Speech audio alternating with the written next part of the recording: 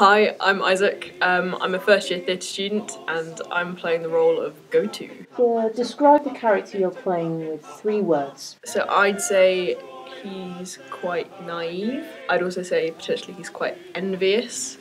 Um, and he's also quite a romantic as well, I think, at heart. It's really fun playing someone who's a lot younger than me and who's still kind of in that teenage place of, ah, everything's new, I'm in love, I think also it's nice being a kind of more of a background character because it gives you more freedom just to have fun on stage. I've been a lifelong fan of Gilbert and Sullivan, um, but I didn't actually know that the university had a society until the Freshers' Fair when I came around looking at the kind of performing artsy societies and saw people like Alistair and Xiao and little straw boaters promoting the Gilbert and Sullivan Society and I thought, this is amazing, I have to join this right here, right now and so I did. What do you like to do outside of Gilbert Sullivan? Any hobbies? Any interests? I like to write, um, which is also a part of my course. Um, I also like to play Dungeons and Dragons because I'm a nerd.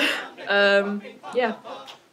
Cool. If you want to have a couple of hours of people singing and laughing and generally making fools of themselves on stage, come along. Wretched man.